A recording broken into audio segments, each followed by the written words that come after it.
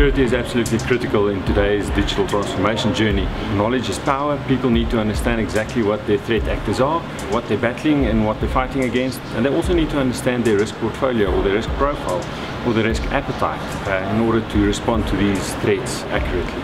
We have a great line of people, professionals, subject matter experts today amongst us uh, who will take us through. And uh, hopefully we will cover the entire left to right, uh, the entire landscape as much as possible in the short amount of time we have today. The point is to talk about it. The more we share, the more we learn. And events like these help us to share some insights and then hopefully guide us towards common solutions. There's all kinds of interesting developments around fintech innovation that we're looking at. And most of these innovations at its core needs trust.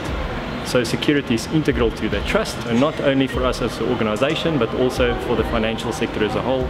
It is absolutely critical. The challenge is that the hackers have become so sophisticated now that from the day the breach happens until we find it and we start fixing it, the median time is 99 days from when they enter your domain until we track it. And because it's so lucrative now, because there's so much money involved in this, that's the new modus operandi. They will get into the system and they will watch and observe and start taking information before they act. This is not a risk that faces any particular type of organization or individual and therefore it's a collective threat that we face across the landscape and having events like the CIO Council form a nice collaborative environment in which CIOs can exchange lessons learned, threats they face to broaden that awareness of the reality we face and how we can best combat that.